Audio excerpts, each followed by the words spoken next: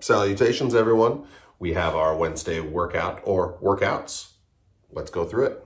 We have a double AMRAP 8 to deal with, and we're actually going to try something. We are going to have the home workout mimic the gym workout, and we'll just make some modifications as we go.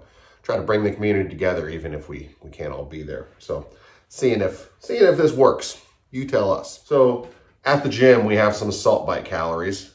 As much as I hate burpees, I'd rather do burpees than the assault bike. So that lets you know so far we're on the right track. This AMRAP 8 begins with 10 burpees, goes into one arm snatches, all with the right arm. We typically have you alternate, but you're gonna go from the floor all the way up overhead uh, with your object. If you do not have a dumbbell or something that you can do one arm snatches with, let's say you have a barbell, uh, it would just be eight total. You don't need to do eight with right and eight with the left. Make it tough enough that you have to kind of think about it to get those eight done. If it's too light, it just means you do more burpees though, so it's not really a win-win. Um, after you do your eight right arm ones, you do eight with the left arm. It goes from the floor every rep, fully stacked and locked out up overhead. We take a two minute break after this AMRAP 8, and we have another AMRAP 8. Again, it begins each round with 10 burpees, but now we have one arm dumbbell clean and jerk, or object clean and jerk. So that's from the floor, come up, we clean it first, and then punch through, and we do our jerk after that.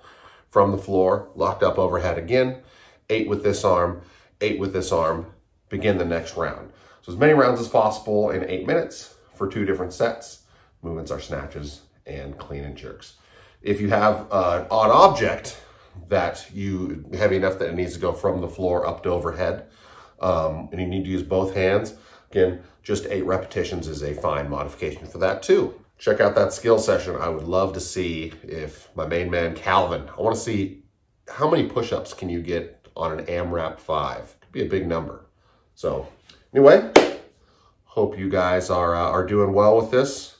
If you're coming into the gym or to the gym, it's going to be a cold one. I'll be there all day. See ya.